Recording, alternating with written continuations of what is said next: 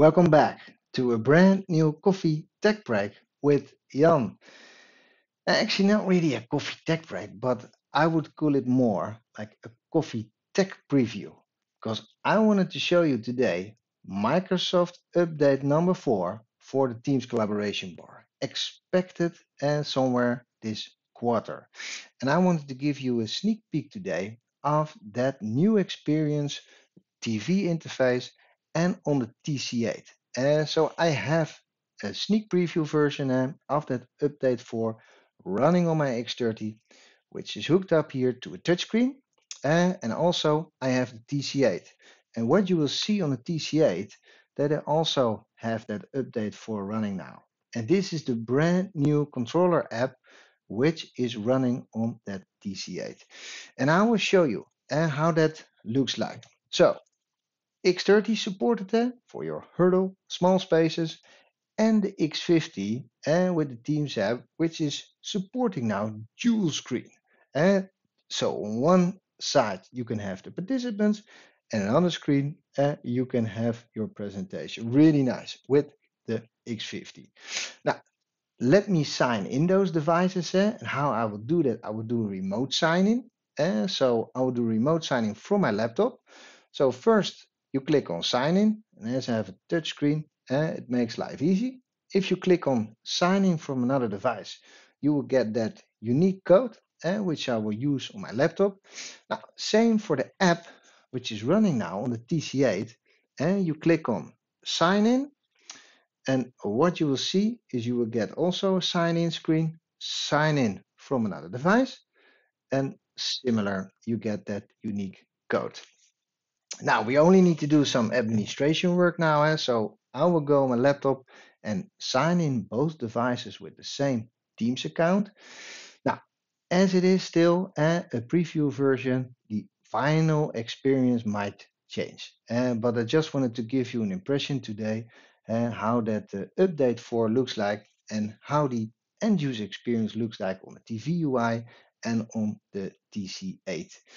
Now, let me go to my laptop now to sign in those devices. Now, take a cup of coffee in between. Uh, so what you need to do is microsoft.com slash device login. Here you get, you get that code. And so you just need to fill in that code, which you see here on the X30. And then I will do the TC8. So I filled in the code. It's not cap sensitive. Eh? So you just use uh, uh, that sign in account. So I got here MTR for Android. So I'm using that account to sign in. And what you will see is the X30 and we'll sign in now to Teams. Now, let's do the same thing with the TC8. And so it also prompt me for that uh, unique code. We sign in with account. And again, and make sure you use exact the same account. Uh, so they're able to pair to each other later on. Uh, so signing it in. And what you will see is on the touch panel, you will see here the sign-in process now on the TC8. And as you will see, it will find the X30 here on the network. And because both devices are signed in with the same account, it's able to identify that on the network. And in case, and of course, you got the X50, it will find your X50 on the network. Now, I will not pair it now. I first wanted to show you uh, the TV UI and show you that interface, uh, what is new. Now, let me show you that new Teams interface uh, on the X30. And in this case, I'm using a touchscreen, which I really like. We have a lot of customers who using the X30 uh, or X50 with a touchscreen on a trolley and they drive it around just using uh, the power uh, and they can hook it up into uh, into different rooms. Very very flexible. And also with touch uh, you can use the whiteboard functionality inside the teams app. Now how is it all organized uh, so on the top left you see the clock you see the naming for the teams proximity or later on the teams casting. On the right side you see now your calendar organized uh, so because I have a touchscreen, I can just drag it down to refresh the calendar, but also you got multiple meetings now on one screen. And so you don't have to swap left and right between different pages. It's all now organized uh, into one page.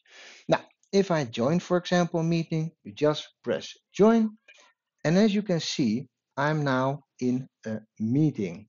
And now below you got all the controls. So you can turn off, for example, the camera here. You got your mute button, eh, which you can easily use. You can also add multiple participants here. You got additional controls like raise hand or live captions eh, or turn off incoming video or dial pad. And you got your volume control to use here. Eh. So all in control uh, uh, meeting controls when you're in a meeting. If you got touch, you got all that functionality available. Uh, and also the Meet Now button. Uh, that is here. So if you quickly just want to start a meeting, you can just search for the participant, click on it, and then you can easily just start meeting uh, using that on-screen keyboard and get it going. Now, there's a new one and it's more. And on the more, you will find your volume control and what was on the right side. So that is now under more. And you got your settings button. Uh, and under settings, you can see you can turn proximity uh, on and off. You got some calling features where you can set some ringtones. You manage devices uh, where you can unpair it uh, from the TC8, which will show you a bit later. You can report an issue and you can find out the Teams version here. You can uh, sign out. So because I'm signed in with a personal account, you get your sign out button right here. If you sign in with a specific resource account, then the sign out button will be hidden under the admin password. Uh, and you got your device settings where you specifically uh, can review your network uh, environment, etc. Now, this is the brand new Teams look and feel with that latest version. Now, let me show you that experience now on the TC8 because that is, I think, also really exciting. It's a very easy workflow. So, as I said, uh, and uh, you saw earlier, it automatically discovers the X30 on the network. So, uh, you search for it, and as you can see, it will find it automatically. Now, what you need to do is you click on the device that is found and here you can make a confirmation that you're connected to the right device. So you see here that uh, pin code on the screen. We punch that pin code here. All right, now and see what happens. Eh? So now we pair it, the TC8 with the Studio X30 and see what happens all the join buttons are gone now. Eh? So the TV UI is now showing the calendar and all the join functionality is now available here on this screen at the table. And again, you can also refresh the calendar by just dragging it down, very easy. And also, if you join a meeting, you got all the controls, as you see here, joining a meeting now, and probably and people recognize the interface from the MTR for Windows. So you got here also raise hands, live captions, turn off incoming video, dial pad, you got volume control. You can also invite uh, other participants to join or mute them. You can turn off uh, the camera if you want. Really, really nice. So you got all the same button and functionality which you have when using a touchscreen and is available here on the TC8. Now, really, really nice. And uh, yeah, if you compare this to that virtual remote, uh, which we had uh, previously, I think this is a really nice interface now. So your small, mid-sized, and bigger rooms have all uh, now the same interface. Now, also really exciting is now the Meet Now and I know that a lot of people were asking that. So yes, you got an on-screen keyboard now and you can find participants and start meeting. Yes, you have that available now. Now, then we have more. So if you click on more, you also have your meet now. You can provide feedback eh, as this is test release. You can go to settings and also under settings, you will find exact the same buttons as I showed you earlier when you had uh, a touchscreen. So here you can also turn the proximity on and off. You can set some ringtones uh, for different uh, calling options. And really nice. Uh, you can now reset the device pairing. Uh, so I'm now paired with the TC8, but here you can unpair uh, or reset that. So then you need to uh, punch uh, a pin again. Again, you got the sign out button here uh, because I'm signed in with a personal account and you can review the device settings.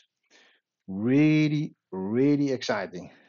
This is uh, the brand new upcoming release, the Teams app, Studio X30 and X50. And again, nothing else is used. Uh, it's just this touch panel paired over the network to the X30 and X50, and you got all that functionality. Now, to show you a comparison. So probably you don't even see now if the TC8 is left or right. I know, eh, because it looks very identical. So on this side, on the right side, you see now the GC8. This is the GC8. This is the G series, the Microsoft Teams Room system, but based on Windows. And this is the TC8. And TC8 is based on Android. But as you will see, it doesn't matter in which room you're using those devices now. They have identical end user experience. Really, really powerful. Now, what are the differences then eh, between the two? Now, with the MTR for Windows, as you will see, you still have that option to do third-party join.